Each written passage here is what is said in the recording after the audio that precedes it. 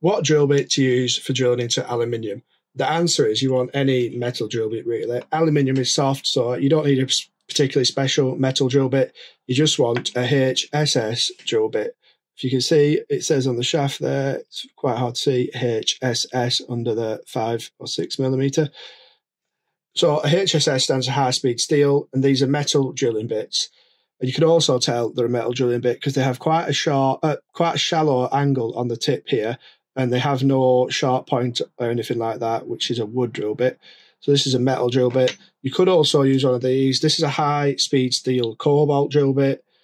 And we can see there it says H HSSCO for the cobalt. And that is just a more premium HSS bit with cobalt in the alloy.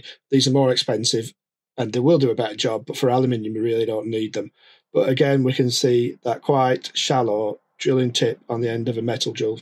So all you need to drill aluminium is any metal drill bit. Remember that aluminium is very soft, so you don't need anything special at all.